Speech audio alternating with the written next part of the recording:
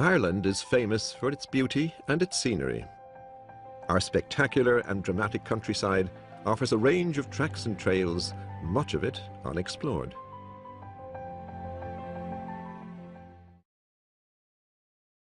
I feel happy. It was such a terrific experience. You know, there's a reason they call it the great outdoors, because it is great. It's, it's, it's magical, and this is a really magical place.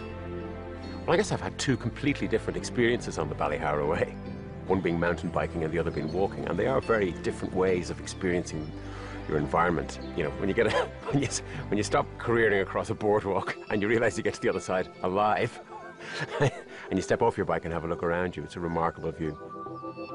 Well, this trip, it's definitely been a, a shared experience. It's a very natural way to bond with somebody because as you walk, you talk and you get to you get to know each other and you swap stories and you have a bit of a laugh too. I think in that you you, you I've made a new friend because I don't have any. Aidan's a, is a new pal of mine now. you know, there's no two ways about it. It's a great way of sharing an experience with somebody. Some of the people we've met along the way, in particular, have have heartened me really. Their love for their community and the effort and the work they put into preserving and, and showcasing this beautiful place.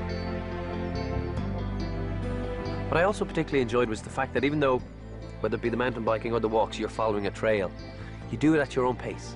You pick it up at any point you want. There's nothing like the feeling you have at the end of a day walking. You really feel like you've achieved something. You know, you've been part of the world in a very unique way.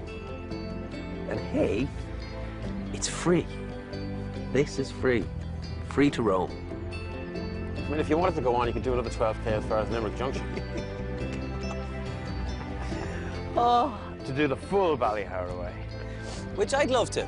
We have to keep something to come back to, don't we? We do. Let's leave that for next time. Okay, you're happy enough where you are. Very.